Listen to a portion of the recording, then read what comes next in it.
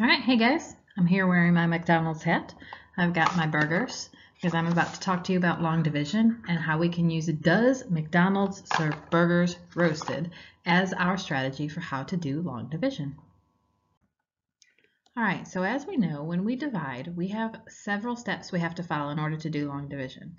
Does McDonald's serve burgers roasted starts with the same letters as divide, multiply, subtract, bring down, or repeat in remainder. The D in does for divide, the M in McDonald's for multiply, the S in serve for subtract, the B in burgers for bring down, and the R for roasted for either repeat or remainder depending on what step of the problem you're in. So we can often think to ourselves, does McDonald's serve burgers roasted to help us remember the steps to do long division? Divide, multiply, subtract, bring down, and then repeat or remainder. So I'm going to work you through several problems using this Does McDonald's Serve Burgers Roasted strategy. I've written the problems this way to remind you of which number actually goes in the house. So we have 124 divided by 8. The first number always goes in the house. It's your dividend. So I draw my house and I write the first number, 124 divided by 8. The 8 wants to get in the house. So how many times can the 8 go into the house? So we're going to use our steps. And if you'll notice, I have does McDonald's serve burgers roasted over here.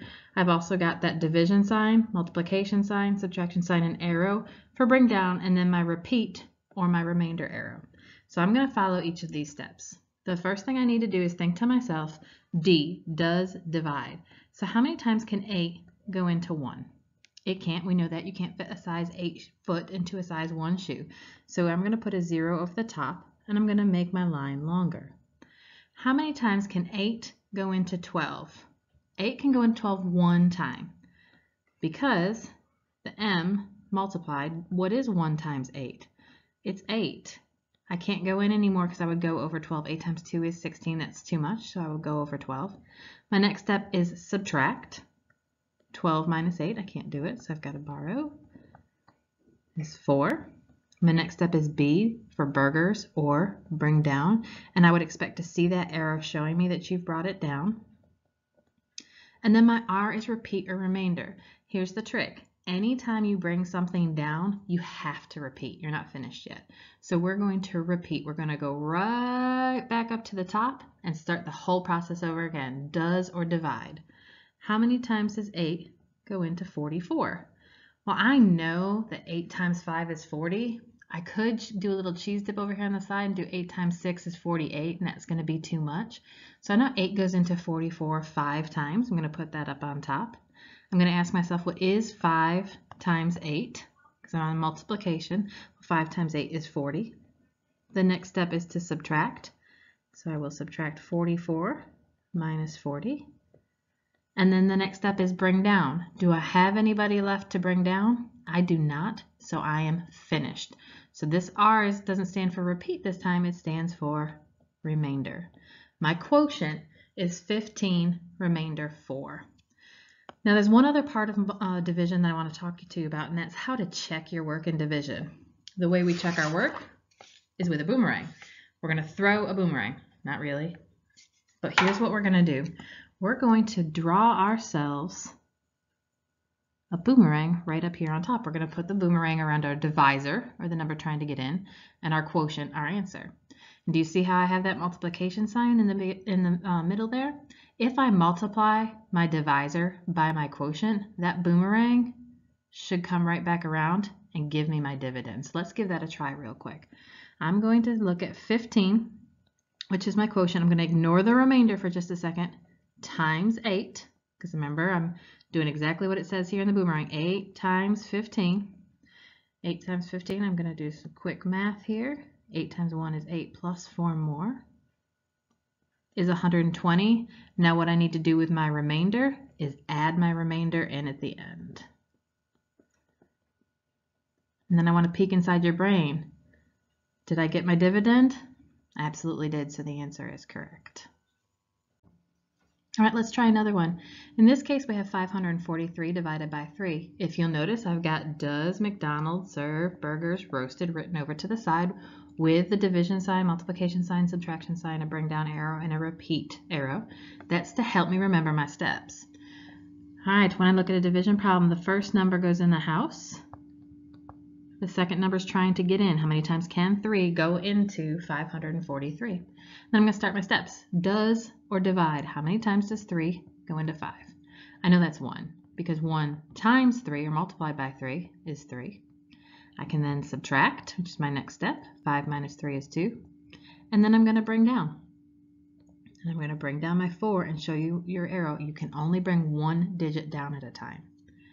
Once I have brought down, I brought somebody down so I know I have to repeat. I go right back up to the top and I start the whole process over again. How many times does 3 go into 24?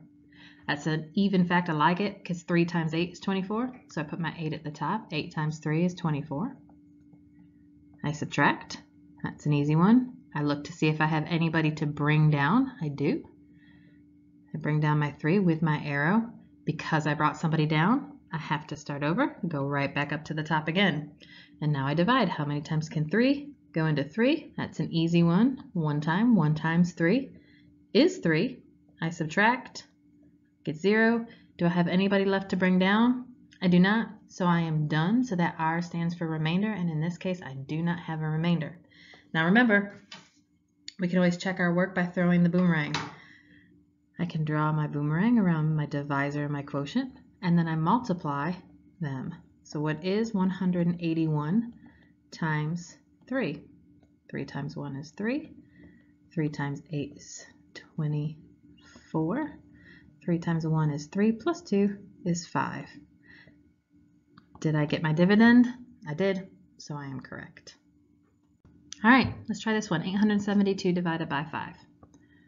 First number goes in the house, 872. 5 is trying to get in the door. How many times can 5 go into 872? I've got does McDonald's serve burgers roasted over on the side with my uh, division sign, multiplication sign, subtraction uh, sign, arrow to bring down or arrow to repeat. And I'm going to start. How many times can 5 go into 8? It can go in one time, I know that. So what is 1 times 5? 1 times 5 is 5. I then subtract. 8 minus 5 is 3. Do I have somebody to bring down? I do. It's 7. I bring down my 7, and because I brought somebody down, I'm going to go back to the top and repeat. How many times can 5 go into 37? 5 goes into 37 7 times. 7 times 5 is 35.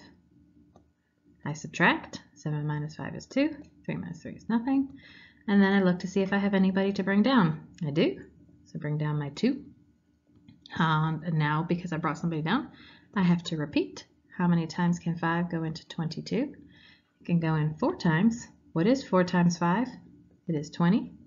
I subtract and I bring down. Do I have anybody left to bring down? I do not, so I am finished. So this R is actually my remainder of 2. Now I want to check my work. So I'm going to throw the boomerang.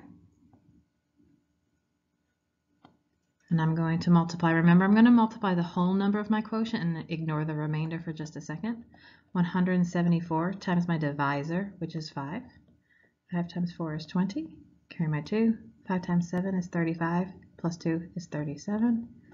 Carry my 3. 5 times 1 is 5, plus 3 is 8. And now I go back to my remainder, and I simply add my remainder in, and I get 872. It's the same as my dividend, so I did the problem correctly. All right, my last example is 567 divided by 4. Let's set it up. 567 goes in the house. 4 wants to get in. How many times can 4 get go into 567? I don't have my letters on the side, so I'm going to really quick add them, and this is what you need to do on your paper. Does McDonald's serve burgers roasted? That stands for divide, multiply, subtract, bring down, and repeat or remainder. So the first thing I'm going to do is divide. How many times can 4 go into 5? 4 goes into 5 one time. What is 1 times 4? It is 4. I'm going to subtract. 5 minus 4 is 1. And I look to see I have somebody to bring down. So I bring down the 6. And then I repeat. How many times can 4 go into 16? That's an even fact. I like that. That's 4 times. 4 times 4 is 16. I subtract. I get 0. I look to see if I have anybody to bring down, and I do. So I bring down my 7. I brought somebody down, so I have to start over. How many times can 4 go into 7? Just one time. What is 1 times 4? It is 4. I subtract. I get 3, and I look to see if I have anybody to bring down.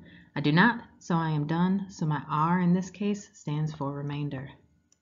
I can always check my work by throwing the boomerang. I draw a boomerang around my work. I look at the whole part of my quotient, 141 times my divisor, which is 4. 4 times 1 is 4. 4 times 4 is 16, carry my 1. 4 times 1 is 4 plus 1 is 5. And then I need to remember to add my remainder. So I get 567, which matches my dividend, so I am correct. So this video was meant to help you learn the steps of long division using the saying, does McDonald's serve burgers roasted? Divide, multiply, subtract, bring down, and repeat your remainder.